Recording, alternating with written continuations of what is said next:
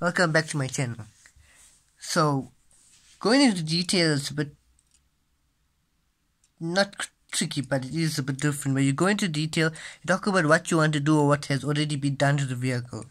And I thought this would be a good opportunity to, as uh, episode 6, to tell you guys that this Camaro SS is going to be a full-on drift vehicle. Uh, beyond the means of drifting, it's going to be a full-blown drift vehicle. I'm not sure if I do want to cut the bonnet out, but I'm pretty sure I do not. But I'm pretty sure I do want to, so I don't know. So, so far I have this ongoing project. I've changed the tires because I think these suit perfectly. I have other tires, but this one's the one that suits perfectly when I drop it down. I wind in the wheel arches so it slams to the ground. This thing slams to the ground.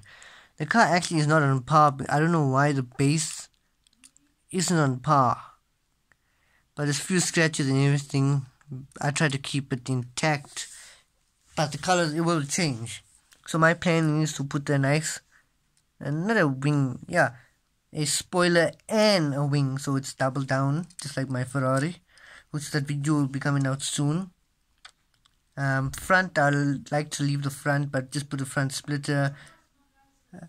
I'm gonna put a massive body kit. I mean, I want this thing to be wide as possible, extremely wide. Full roll cage, two seats, nitrous tanks. Engine wise, you know, I don't know if I'm gonna go electric for this one, or I'm going LS3 twin turbo, LSX, or I might do something completely different as I go on. I'll let you guys know as updated one. So this is going to be um, full blown drift vehicle um, no steering involved in this one. This will just be like a, you know decent drift vehicle. I don't know if I want actually you know what? I do want the um, the pipes in the rear. I want the four pipes in the rear. I want probably somewhere here or out the bonnet. Massive exhaust turbo turbos exhaust. Uh, color uh, not quite sure about the color yet. I'll probably leave it like this as a scrap drift vehicle that's a beast. But it's gonna go. He's gonna go full FD on this, full Formula Drift on this one. So and it's by RMZ City, so it's a custom interior, custom everything. Everything is custom off here.